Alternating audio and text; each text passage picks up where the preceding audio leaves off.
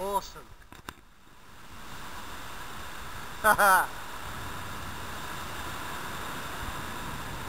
Pretty cool, Mitch. I am right behind you.